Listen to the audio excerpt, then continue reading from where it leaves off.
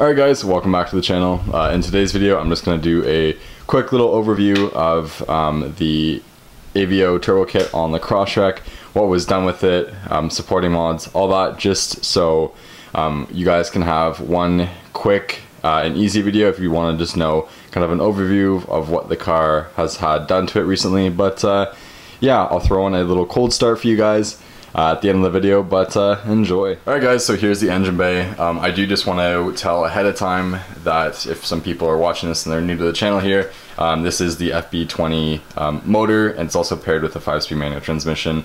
I've got the AVO Stage 1 turbo kit on here with a bunch of different um, supporting mods and just add-ons that I've done um, tailored to kind of what I wanted but uh, yeah guys so kind of starting on the side of the engine bay here you can see my old catch can um, that is the same one as previous. It's just plumbed up a little bit differently, but um, it serves its purpose. I do drive the car year round and in the winter, so that's why I do have a catch can instead of an AOS.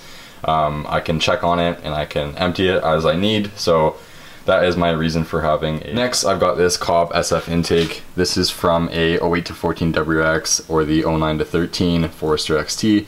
Uh, it bolts into the factory locations um, as it should, no modification needed.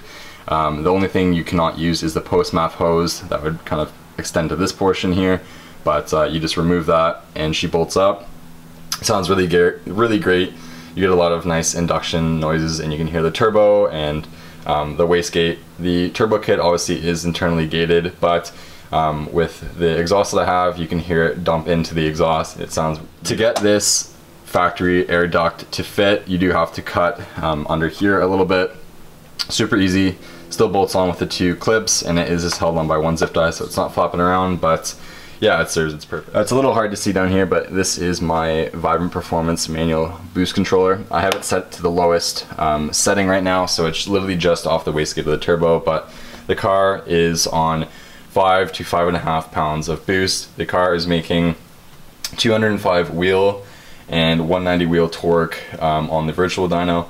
This car will be back on a hub dyno at some point soon, so I would expect it to make around maybe 215 to 220, but um, we'll have to see for a later. So before I get on to any other stuff, um, the car does have um, WRX, uh, 08 to 14 WRX, sorry, uh, dark blue 565cc injectors. It's got the TGVs deleted and there is a divider underneath the TGV on the top of the block and those have all been removed from um, the four locations here. I do have an IAG EGR delete on the car as well. Um, there are two little standoffs on one of the block off plates that had to be shaved down, but um, any other EGR delete for an FA20 will fit these cars um, without any mod. Just before I forget, in terms of fueling, um, obviously I've got the WRX 565cc injectors, but in the uh, fuel tank I've got the AVO fuel pressure um, regulator paired with a DeatschWerks 300C fuel pump um, for the 15 plus WRX and the 13 plus BRZ. Um, in terms of transmission stuff, you guys um, obviously know it, it does have a five speed, but I've got the Kartboy uh, Legacy shifter combo, so that's the front and rear bushings with the uh, short shifter. I've got a Omni 4 bar map sensor for the BRZ. Um, it is a little bit overkill in terms of how many bar it can monitor, but um, it serves its purpose. You could probably get away with a three bar or a little lower, but it really depends on how much boost you're going to be. Uh, back here, I still have the OEM um, bypass valve from AVO, but I will be getting their polished billet one um, shortly. I'm still going to run it as a bypass valve, so no vent to atmosphere, no 50-50 split. Um, especially on a MAF-based card like this is, um, you do run a, want to run a bypass. On this side, I've got a MA Performance um, BRZ oil cooler. It is the 13 row, and you can see it just under here. Obviously, the car is um, fitted with a front mount intercooler. It is not top mount, so you can see it behind the grill here. Um, I was going to mount the oil cooler on the top of the intake manifold so that my hood scoop could feed air into it, but um, with the amount of time that I had to kind of get this done.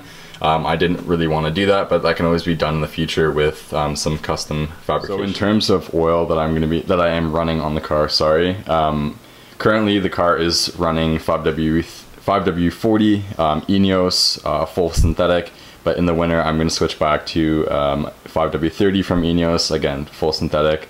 Um, yeah. So in terms of exhaust, I still have the same um, exhaust as before. Obviously the um, turbo kit replaces the um, hand, uh, sorry, the header, but um, I do have a three inch catted turbo back exhaust built by Matt at GT Custom um, here in the GTA. Um, it's got a high flow cat in it, two vibrant ultra quiet resonators, and a large style um, vibrant uh, muffler in the rear. I do probably plan on taking one of the vibrants, the ultra quiets out, putting on V band, so I can switch back and forth when I want. Car's a little quiet for my taste, but it's actually quite nice right now since I've been doing a lot of highway stuff and uh, it's allowed me to hear the uh, turbo a lot more. So as I did increase the horsepower of the car, um, I did want to make sure that I had adequate um, brake power. So before the turbo kit in was installed, I did have um, the Torque Solutions master cylinder brace, uh, as well as StopTech stainless steel lines front and rear with um, DOT for brake fluid from ATE. But um, when the turbo kit was put on, I got um, StopTech slotted rotors for front and the rear and also their street pads. Uh, super, super nice. Before I forget, I do have this primitive racing skid plate to go back on the car. Um, I did have to notch it ever so slightly for the oil cooler.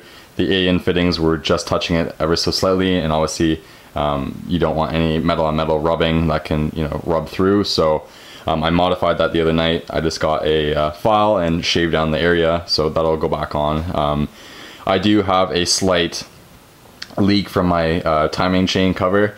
So what I'm gonna do is clean off that surface with some brake clean and I did buy some sealant that I'm just gonna do a little bit of a band-aid right now until I fully commit to doing the job. The leak isn't that bad, but um, portion of the turbo kit is going to have to come off to pop the front um, timing cover off so um, that is something that I am anticipating on doing but for right now I'm just going to put a little band -aid. Another thing that I do have to put on is a bunch of different suspension um, parts and a turbo blanket. I have a Torque Solutions um, stock frame turbo blanket for a FA20 as it's a low mount turbo and that'll fit this turbo kit. Uh, you've seen it in my other videos. Uh, I still have to install that. So I have a couple things to do and uh, yeah. So hopefully you can see the interior a little bit better, but up here I've got a AEM oil pressure gauge with a SMY defroster um, gauge pod. Here I've got the SMY uh, tachometer gauge pod with a Innovate Motorsports AFR gauge and boost gauge. And obviously I still have my Ultra gauge um, plugged into the OBD-II port. Uh, if you guys haven't got updated with the car in a little bit, um, I've got this 2018 50th anniversary WRX steering wheel with um, the airbag, and I also have the shifter um, console as well. Um, I've got a WC Lathe-Works 5-speed to 6-speed adapter with the Onyx uh, shift knob from a car guy's garage. It's about 500 grams, and this thing feels wicked, nice and heavy. But yeah, um, that is about it. I will throw in a cold start for you guys and uh, as always I'll see you in the next one um, please make sure to like comment and subscribe I am very very very close to um, getting monetized so if you guys are watching this and you aren't subscribed please make sure to hit subscribe hit the bell notification so you know when I post and uh, I'll catch you guys in the next one cheers